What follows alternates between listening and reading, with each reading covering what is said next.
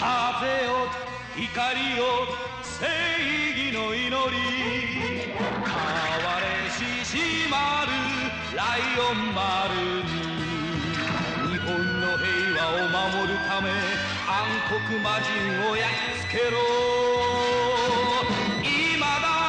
今こそ変身だ。走れライオン飛べ飛べ。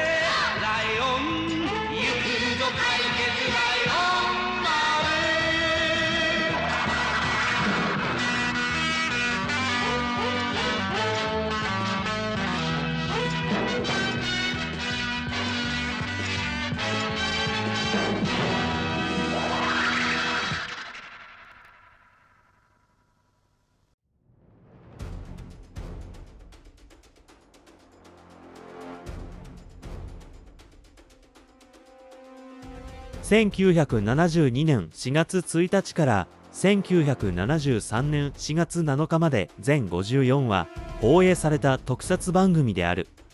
当初から時代劇としての体裁を考えていたわけではなくかつてパイロット版が制作された表漫が再検討されたものである。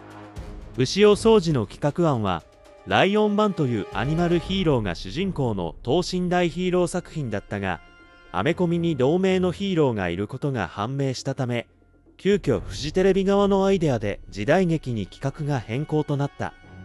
タイガー城登場の経緯は番組長期化に関するミーティングでライオン丸単独でキャラクターを引っ張るのでは弱いので強力なライバルが欲しいという意見によるものである。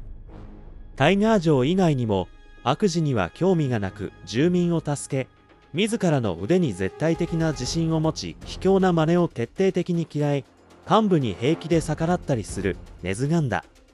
盲目の少女と心を通わせ南蛮での少女の治療を夢見る飛武蔵。